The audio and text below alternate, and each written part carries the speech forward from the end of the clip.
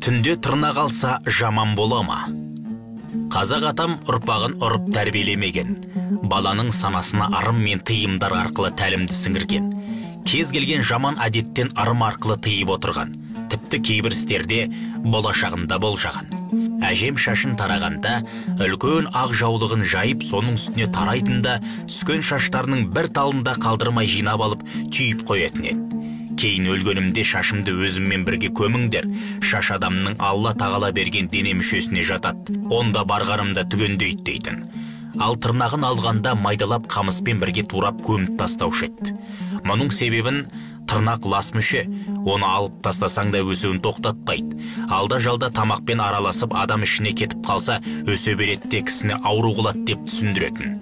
Бізге де түнде тіпті күн батып бара жатқанда тырнақ алуға тыйым салатын. Негізінде о дүниелік болған адамның тырнағын түнде алады екен. Сондықтан тірі адам түнде тырнақ алмайды деп ырымдайды.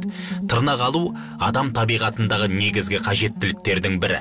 Шамадан тыс өсіп кеткен тырнақ микробтардың жиналатын ошағы. Сондықтан деннің саулығы гигиена тұрғысынан әрі дәрет және ғұсыл дұрыс орындалу үшін тырнақтардың астының таза болуы қажет. Үлкендеріміздің түнде тырнақ алма жаман болады деуі бұрынғы кездері жарықтандырудың болмауына байланысты айтылған тыйым.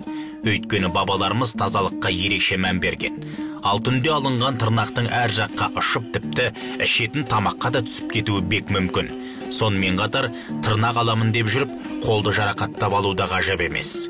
Шынында да адамда артық болып саналатын керексіз затты тез әрі күндіз жасаған абзал. Бұл сіздің деніңіздің саулығына да кепіл береді.